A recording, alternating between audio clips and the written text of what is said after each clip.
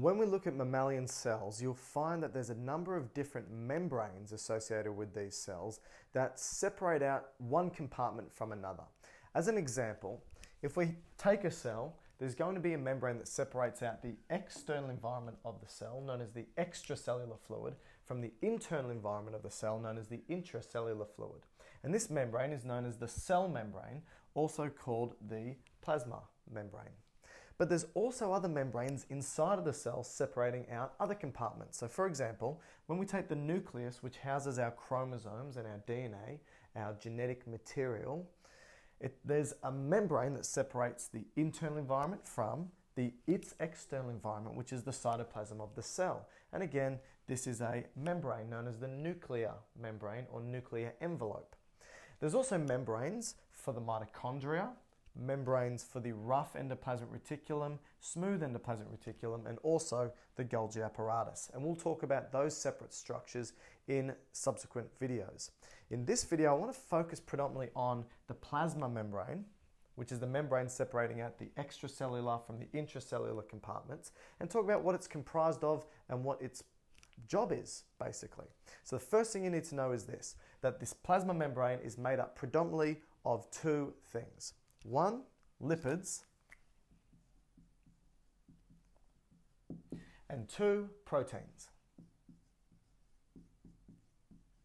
In actual fact, the plasma membrane is made up of pretty much 50 50 lipids and proteins. Okay? So let's first focus on the lipids. Now, lipids are basically fat soluble substances. Often it's synonymous with fat, but they're fat soluble substances. And the two major types of lipids that you're going to find that create this plasma membrane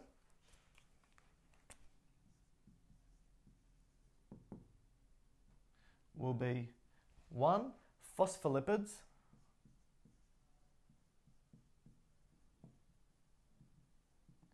And two, cholesterol.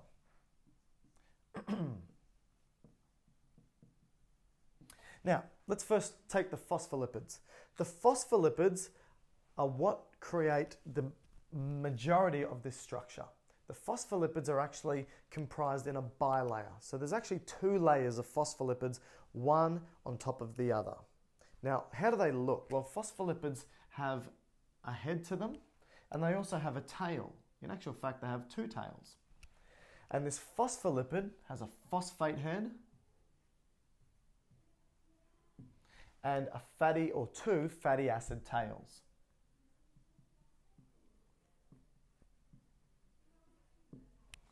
Now, this phosphate head has a charge to it and actually really likes being in contact with water, which means it's hydrophilic.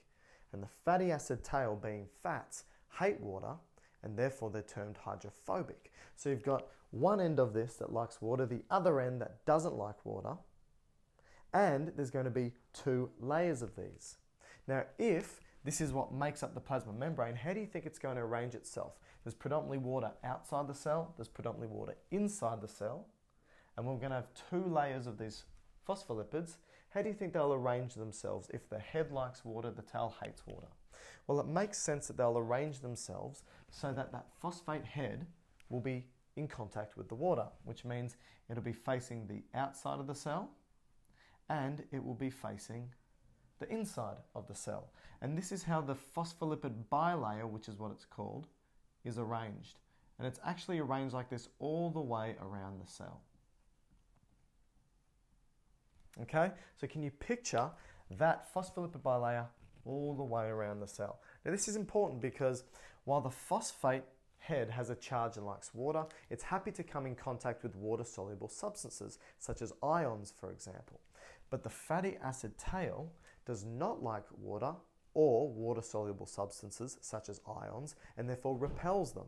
So this means that this plasma membrane is semi-permeable and will let some things through and other things not through. That's the first point. Now, I said that this phospholipid bilayer made up of lipids, one phospholipids, here they are, two cholesterol, and cholesterol because it has this sort of fatty nucleus to it or a steroid based nucleus I should say it embeds itself in this phospholipid bilayer. And what the cholesterol does as it embeds itself is it actually changes the fluidity of the membrane. So you may think of this phospholipid bilayer as being a very solid structure, quite rigid, but in actual fact it's not.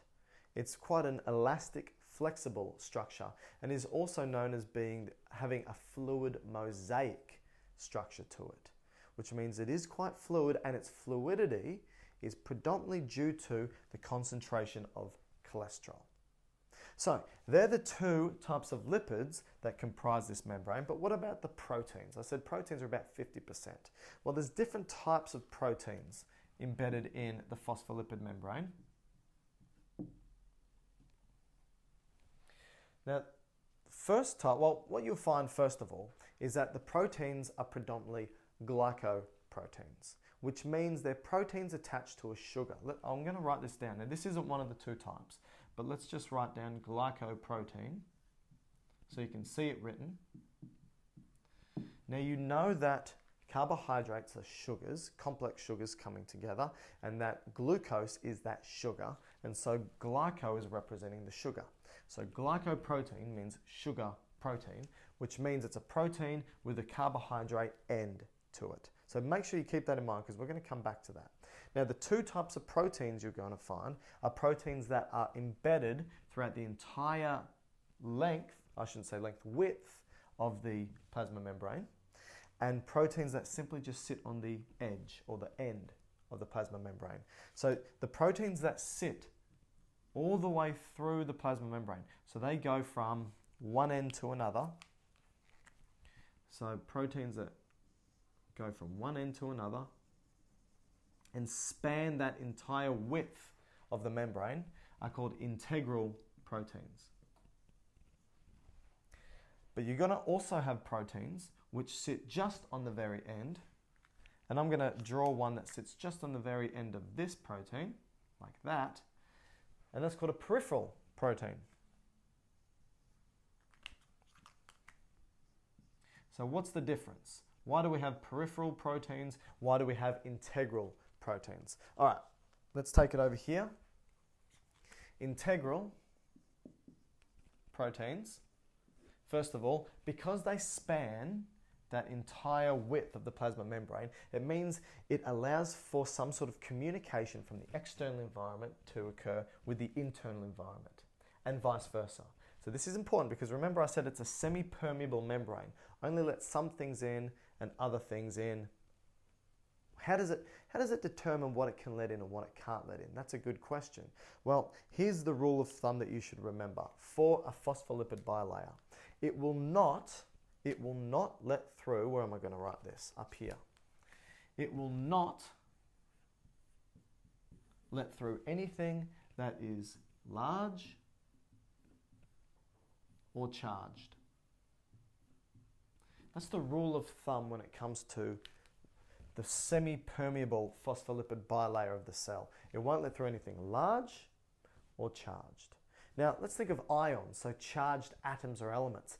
They're atoms and elements, so they're small, right? So they're not large at all, so you may think they can get through, but ions by definition are charged, so they cannot get through. Now, sometimes we do want ions to get through, and the way that they can get through are through these integral proteins. So, integral proteins can act as channels. They can act as channels, allowing substances that can't usually get through to get through. Okay, so predominantly water soluble substances. But they can also act, so they can act as channels, but they can also act as receptors. So sometimes you're going to have a hormone, for example, a water soluble hormone, which, because it's water soluble, cannot get through this membrane, but it needs to tell the inside of the cell to do something. So, how does a hormone that's outside the cell tell the inside of the cell to do something? Well, it will bind to an integral protein or it can bind to a peripheral protein and it allows for changes to occur inside the cell. Okay? So, receptor activity. So, it plays a role as a channel, plays a role as a receptor. Integral proteins can also play a role for transport.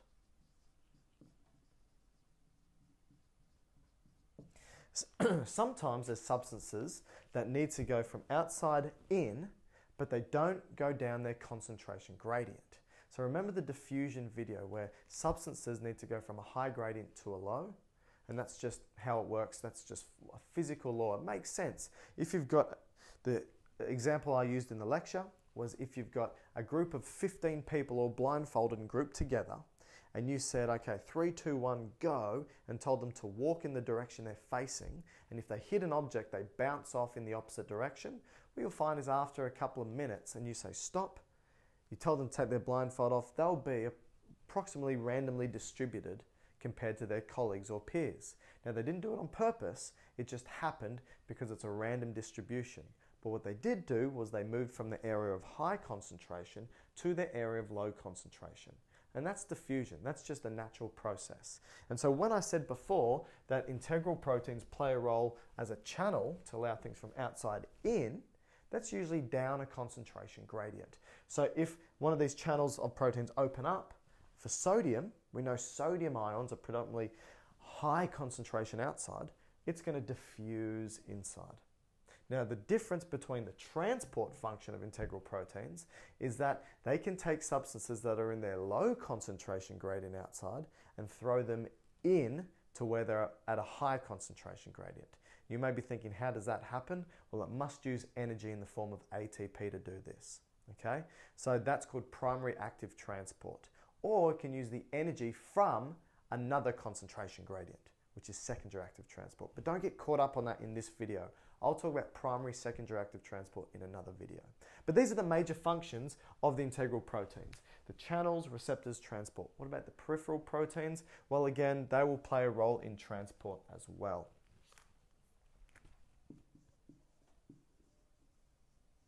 Peripheral proteins, you know, play a role as receptors, true, and transport.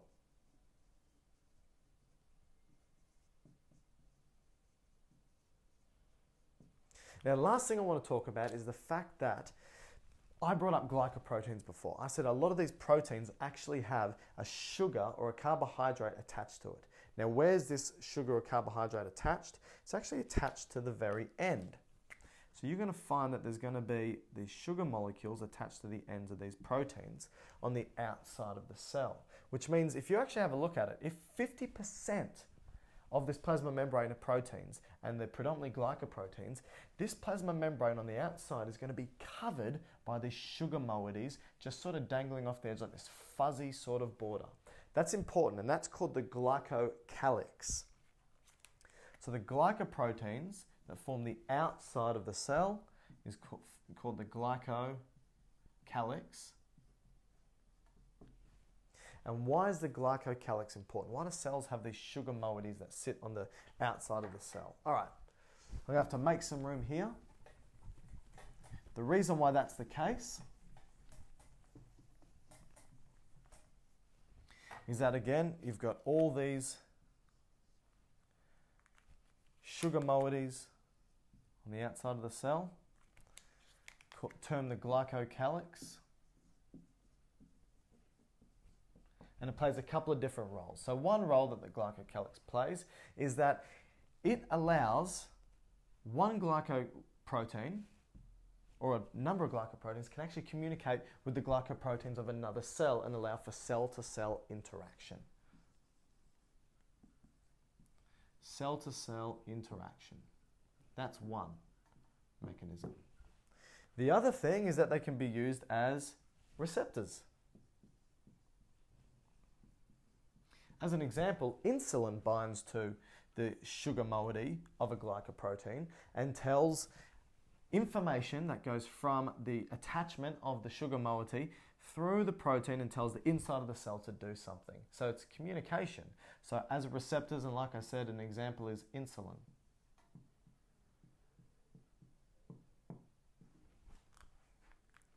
And another role that these glycoproteins play is actually they play a very important role in immune function.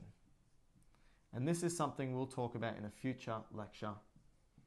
Immune function actually plays a role in recognizing whether the cell or foreign um, uh, particles belong to self, meaning should this be in the body or should this not be in the body? Recognition. And this recognition is part of the immune system. So, this is basically the phospholipid bilayer, the membrane that separates the inside of the cell from the outside of the cell. It's made up of phospholipids, cholesterols, integral proteins, peripheral proteins, and a lot of these proteins are glycoproteins, which forms this coating of sugar on the outside of the cell called the glycocalyx, which plays many different roles.